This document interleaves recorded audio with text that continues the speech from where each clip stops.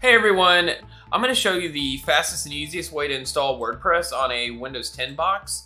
We're going to be using XAMPP, which is a really cool little application that allows us to install Apache and MariaDB to Windows 10. And this will work the same way for Windows 11 or any of the Windows Server OSs. But yeah, let's go ahead and get right into the install process. All right, so the first thing that we're going to want to do is download WordPress. If you come to wordpress.org slash download, then you get greeted with this page that just says get WordPress. And then I'm going to click here where it says download and install. And that's going to take me down here to this download button. And once you click that, WordPress is only a 15 meg install. So that's going to be pretty cool. That'll download pretty quickly on my internet. And then we're going to pop over here to XAMPP, which, as I said earlier, is a basically a package application that allows you to run Apache and MariaDB as well as PHP and Perl on a Windows box, which is super handy for hosting websites like this. So we're going to go ahead and download the version for Windows. This is a little bit bigger. This is 160 meg install.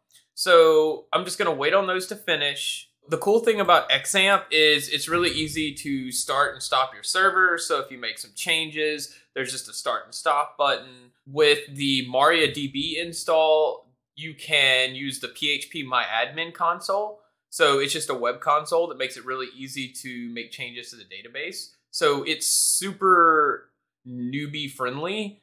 And yeah, so I think it's a really great learning environment too. If this is your first website that you're trying to get set up, um, I think these are great tools to learn with. So WordPress finished downloading. So I'm going to go ahead and show that in folder.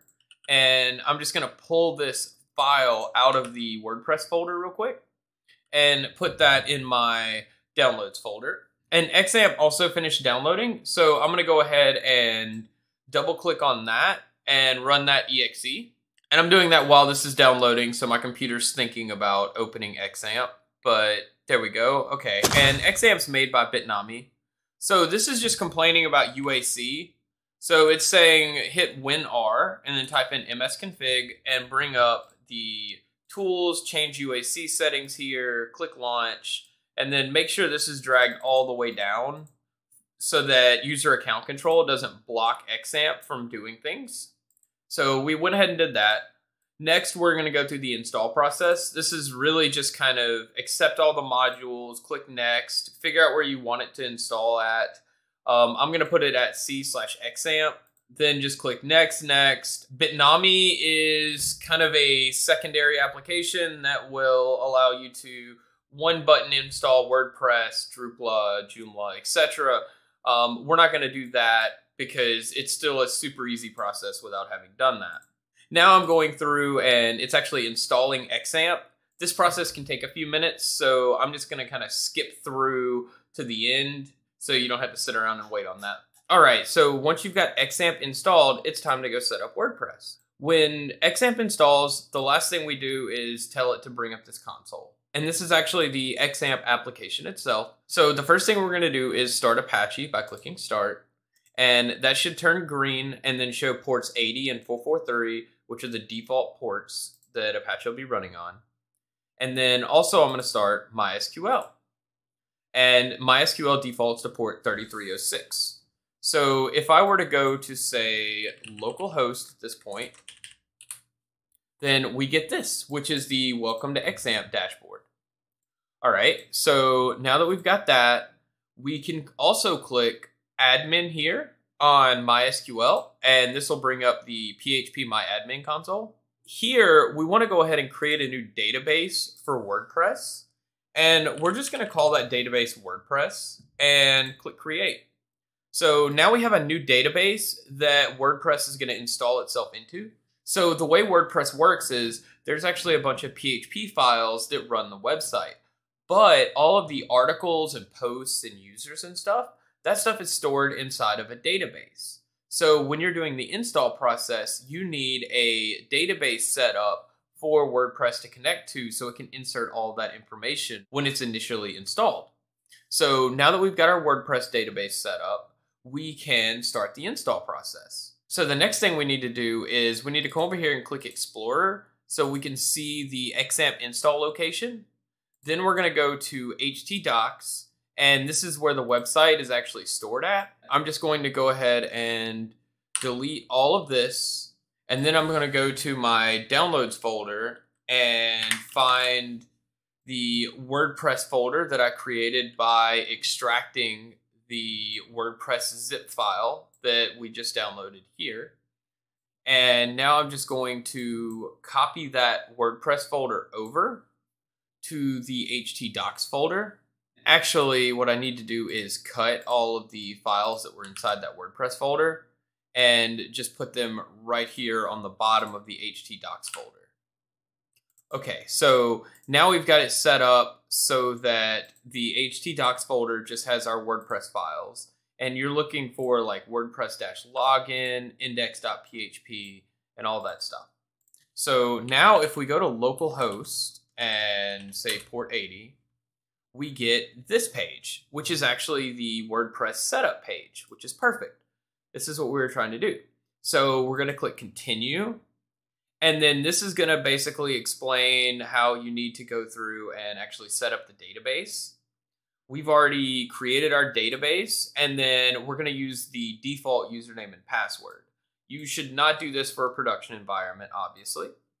So we're going to come here, and we named our database WordPress with the lowercase w, which is actually exactly what they did by default.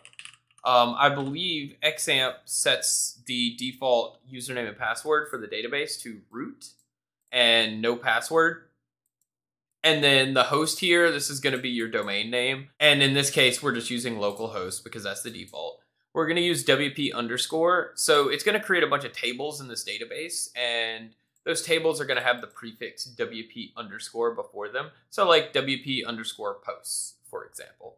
And you can change that if you'd like, but I've never changed it. I don't really see a good reason to do that.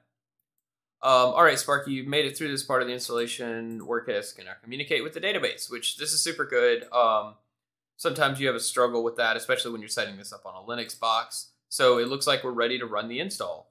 Um, I'm just going to say test site for the site title here.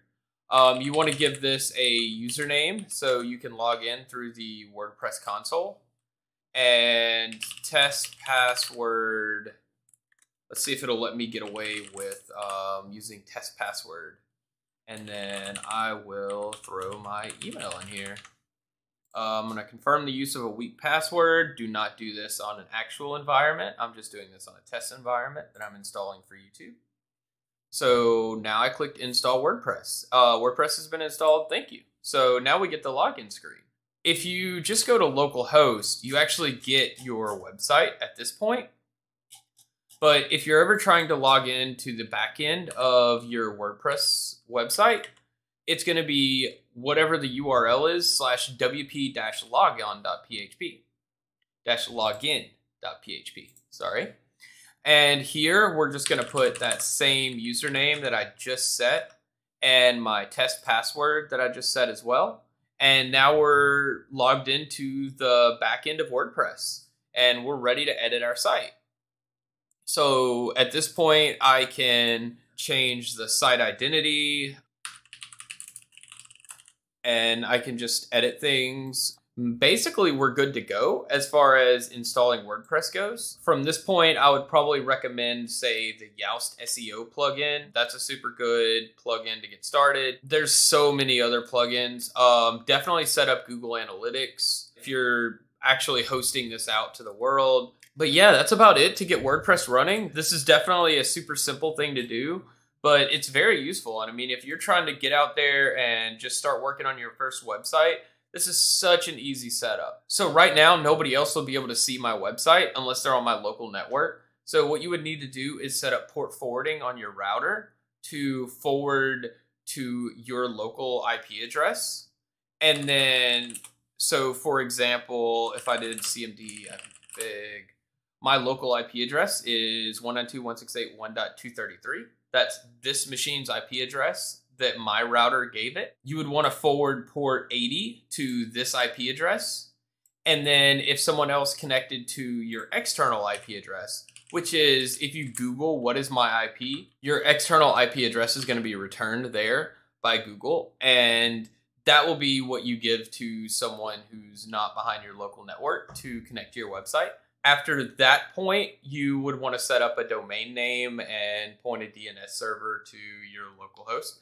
Um, I could make a video on how to do that, but for now, I think we've almost ran over the scope of just installing and setting up WordPress on a Windows box. But that's really it. I think XAMPP is a really great tool because it makes this such an easy process to get to building a website straight out the door. So thanks for watching. I hope this helped you out. And if you wouldn't mind subscribing, that would really help the channel out. But yeah, that's it. And I'll see you in the next one.